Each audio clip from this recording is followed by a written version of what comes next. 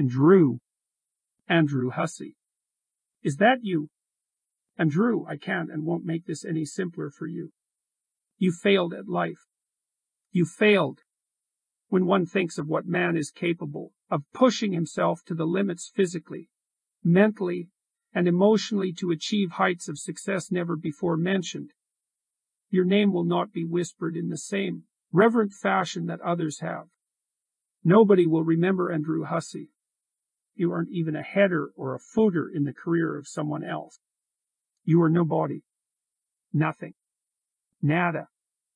Zilch. In short, you are an enormous failure.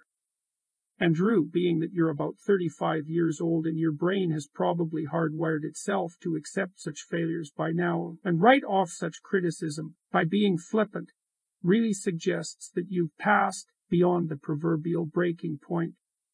There's no turning back. This is your career. This is what defines you. And this is what you'll defend to the end. The abhorrent failure that is Paint Comics Andrew Hussie. That is your legacy. Maybe I'm overreaching, however. Who knows? People can change.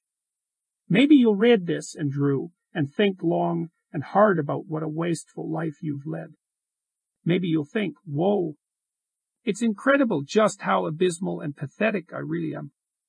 Maybe you'll lift some weights in the morning. Maybe you'll take a self-help class. Maybe in a couple of years, Andrew, you'll have learned from this failure. I doubt it, though. I genuinely doubt it.